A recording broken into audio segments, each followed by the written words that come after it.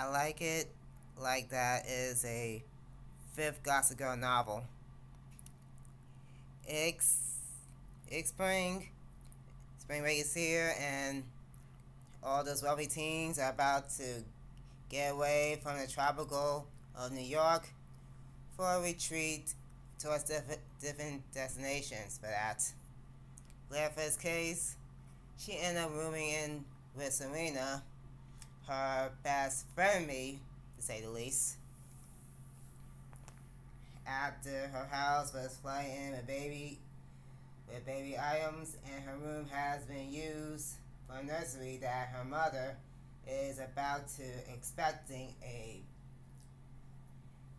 expecting a child child soon and she end up bonding with Serena's brother Eric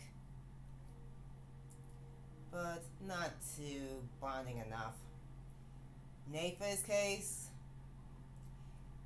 he he been bonding with Georgina after he met her at rehab and he and she almost tried to commit suicide that Nate saved her, saved her part from the last book.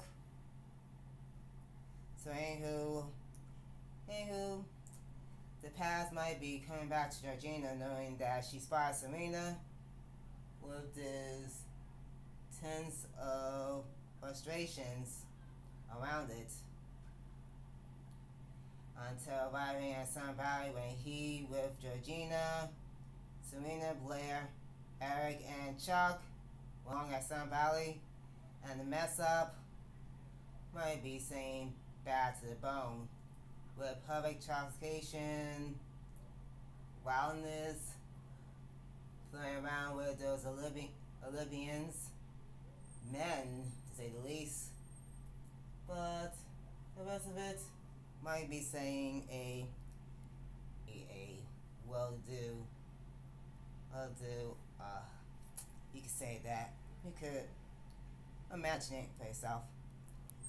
Back in New York, Dan was crying, crying over that literature job, which is tense for him. His sister Jenny buying over with that guy Leo.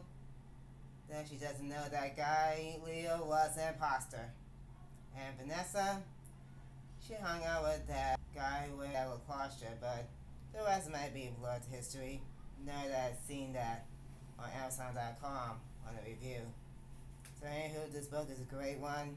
For a few chapters, might be say a good, good way to read it.